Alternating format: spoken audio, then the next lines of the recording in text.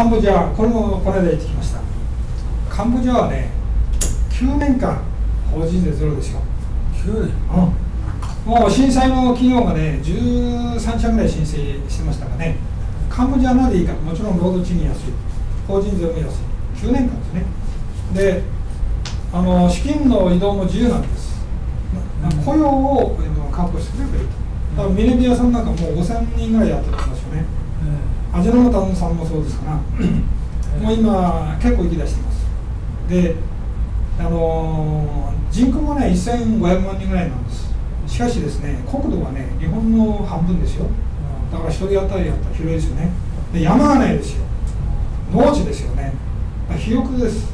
もうあの夕方になるとそこにがあの雨が降ってね。肥沃な土地なんですね。だから農業はすごいです。餓死する人はいません意外と豊かなんです。であの労働賃金安いですからだからあのほらこの人居酒屋の和田美さんの米はあそこで作ってるんだよ、うん、ワタミであの出してる米はカンボジアですよ。それからねあのこのカンボジアもねなんとね日本と比べるとね韓国が検討してるんですよ。一番あの出てるのは中国の企業です。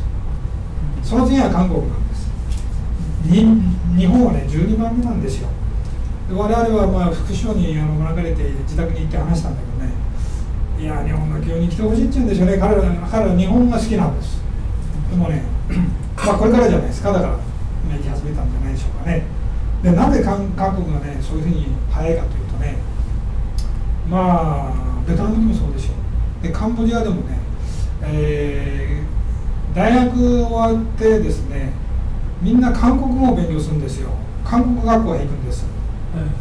勤める先があるから。でようやくあの前の篠原大使がねあの財団法人で日本語学校を作り始めてますけどあの韓国も皆さん習うんですよね。ですからねこのカンボジアもおあれですよ。それからねカンボジアに証券市場がですね今年のお7月できたのかな7月ですね。であの港湾の会社水道の会社とこう公開するんですがもうこれから始めるんですけどね。なんと韓国の証券取引所がねこのカンボジアの証券取引所に46%出資してますよ。東京証券取引所そんなことできますか私も証券会の人間ですけどねちょっとそんなセンスないね。そこまでやらない。韓国すごいでしょ、うん、それからラオスもね今年の3月できましたよ。ラオスもこれもラオスラオスも ASEAN ですよね。でラオスにも証券取引所できました。これにはね韓国証券取引所は40%出資して、でラオスにもねあのもうラオスミャンマーですよ。もうこれから。あの労働主役産業ミャンマーなんかもねあのもう今非常に暑いんですよ。だけどこのミャンマーもですねやっぱりあの一番目に企業がこう直接投資して多いのがやっぱり中国香港なんですね。でここもね日本は12番目です。2番目はタイで3番目は韓国です。このミャンマーでさえも韓国それからバングラディッシュでもねユニクロさんも出てますよね。でもあのバングラディッシュはねあの工業工業団地がねこう地形の環境上こう限られたところなんでだけなんですがもうねいっぱいなんですよ予約ででユニクロさん言ってたんだけど我々は早く出たつもりがねもう中国と香港と韓国で予約がいっぱいと。そういう状況なんです、まあ、日本もあのただし私は思うんですがこれからもどんどんこれからっていうかもう出始めましたよね。しょうがないですよねこれね。あの海外でのその生産やざるを得ないですそれからあのベトナムこれもね韓国台湾が強いんですね。あのまあ我々が言うなんていうかな駐在員と申しましょうか。韓国は10万人いるんですよ。日本は1万人いるんですよ。それから台湾は8万人。それからベトナムハノイでもねあの建物の建ててるねあの建造物はね韓国のね建設会社ですよ。圧倒的に多いです。まあ日本もこれからあの行くんでしょうけども、まあ、ベトナムもねあのまあ、インフラ整備という鉄道だとかね原子力発電が日本にあのやるようですけどもまあだけどあの 凄まじいですよね。でそういう韓国とね中堅企業はねやっぱり一緒に行く一緒に行きましょうと中国でもね。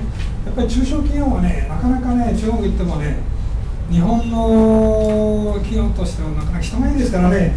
向こタフですからね。23年はいいんだけどね3年目ぐらいだと帰ってくるのが多いんですよね。だからそういう台湾とかねやっぱり組むっていうのは必要じゃないでしょうかね。それからあの